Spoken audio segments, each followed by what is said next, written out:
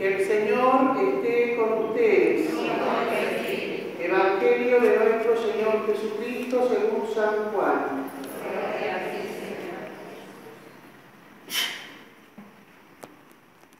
El primer día de la semana, de madrugada, cuando todavía estaba oscuro, María Magdalena fue al sepulcro y vio que la piedra había sido sacada.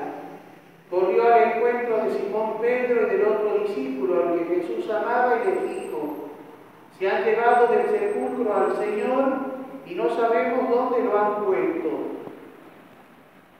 Pedro y el otro discípulo salieron y fueron al sepulcro. Corrían los dos juntos, pero el otro discípulo corrió más rápidamente que Pedro y llegó antes. Asomándose al sepulcro, vio las vendas en el suelo, aunque no. Después llegó Simón Pedro, que lo seguía, y entró en el sepulcro. Vio las vendas en el suelo y también el, sudario que había cubierto su cabeza. Este no estaba con las vendas, sino enrollado en un lugar aparte.